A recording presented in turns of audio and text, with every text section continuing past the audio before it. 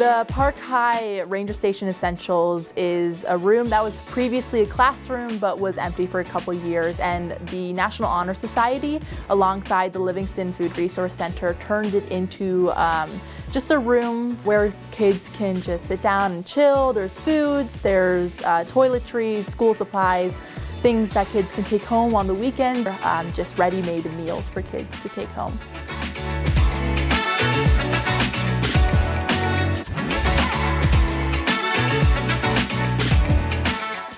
Hopefully the Ranger Station Essentials will become a permanent fixture of Park High um, and as long as we have NHS, NHS kids to be in the room, um, we, we will be running it.